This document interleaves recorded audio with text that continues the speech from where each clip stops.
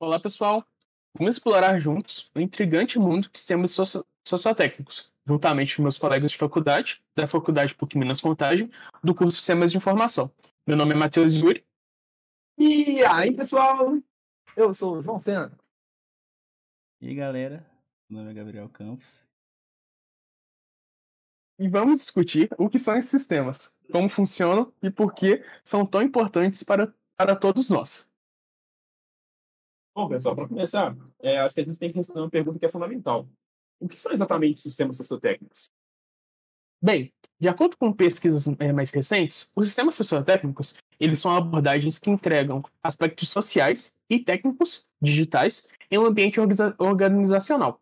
Eles reconhecem que o sucesso de um sistema né, não depende unicamente da tecnologia, mas também da forma como as pessoas interagem com essa tecnologia.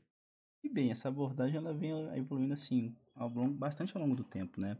A gente tem exemplos de sistemas sociotécnicos como a utilização de pranchetas, né? É, perdão, de cadernetas, né? De anotar pedidos em restaurantes. Porque inicialmente esses sistemas sociotécnicos tratavam apenas como um método de design, mas hoje a gente tem a aplicação deles em, na, assim, até propriamente na engenharia de sistemas. E isso só demonstra como os sistemas sociotécnicos, né? Eles podem oferecer uma visão assim completa para lidar com hoje complexidades imensas em dentro de organizações, os problemas mudar fora. É, bem, e agora nós vamos aprofundar um pouco mais sobre é, o funcionamento desses sistemas sociotécnicos. Bom, alguns pesquisadores revelaram que sistemas eles vão além da resiliência, ou seja, eles incorporam o feedback humano e a adaptabilidade para melhorar a eficácia e a confiabilidade. Ou seja, em outras palavras, os sistemas sociotécnicos não apenas lidam com problemas técnicos, mas também lidam com as dinâmicas sociais que estão em constante evolução. É, vamos ilustrar esses conceitos com exemplos do mundo real, para vocês poderem entender melhor como sistemas sociotécnicos são aplicados. Bem, em estudos recentes, né, a gente vê que os sistemas sociotécnicos podem estar sendo aplicados no meio de entretenimento digital, como por exemplo uma plataforma né, que foi utilizada como objeto de estudo, é a Twitch. É, para quem não sabe, né, a Twitch é uma plataforma que realiza transmissões ao vivo de pessoas que estão jogando ou apenas conversando né, com outras. E no caso, a Twitch ela oferece diversas ferramentas para você estar tá podendo interagir tanto com a pessoa que está transmitindo alguma coisa, quanto com as pessoas que estão assistindo, né? Como o chat. Você tem é, formas de você apoiar também a pessoa que você está assistindo.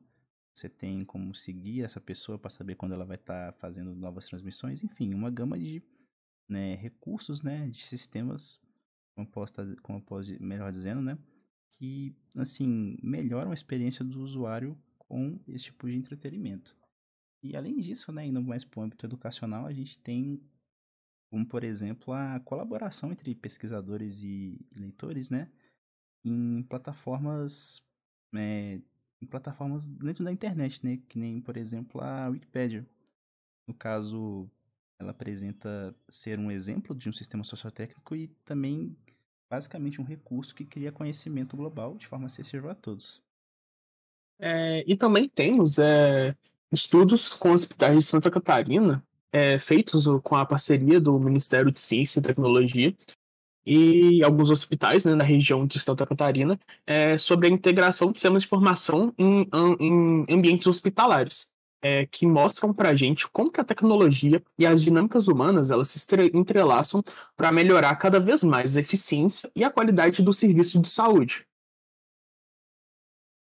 Bom, é, finalmente, a gente tem que responder mais uma pergunta. Por que, que os sistemas sociotécnicos são tão significativos e importantes para as pessoas? Bem, além desses exemplos né, que a gente acabou dando, assim, principalmente essa questão do serviço de saúde, né? Mas, assim, prática, né? É, a gente pode estar tá, né, concluindo, assim, que os sistemas sociotécnicos, eles... Concluindo não, é... Dando, dando sentido para essa importância, diz respeito às tomadas de decisões, né? E das pessoas com base nos sistemas sociotécnicos. E elas, no geral, vão tendem a ser muito mais eficazes, né? Já que elas vão estar sendo feitas com, com base em informação e, e acabam sendo mais eficientes para estar tá lidando com os problemas e com os desafios que temos aí na, em diversos aspectos.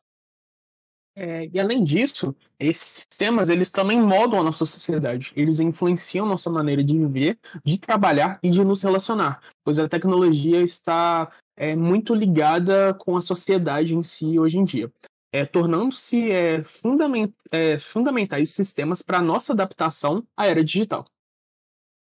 Bom, e com isso chegamos ao fim. É, foi um prazer estar com vocês, galera, e é isso. É, muito obrigado por nos acompanhar é, sobre é, esse esclarecedor podcast sobre sistemas sociotécnicos. Bem, eu também agradeço, né? Pessoal aqui quem, tá, quem, quem, está nos ouvindo.